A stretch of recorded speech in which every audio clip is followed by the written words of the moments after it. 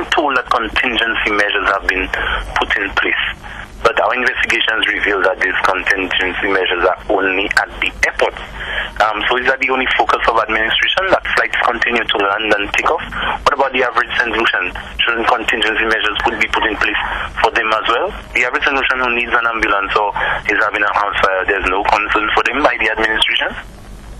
That is that is a concern for us as well. If there are contingency measures being put in place. Because persons who may not have joined us on the action, who are reported in at the various fire stations, are being diverted to the airport. To us, that says a lot.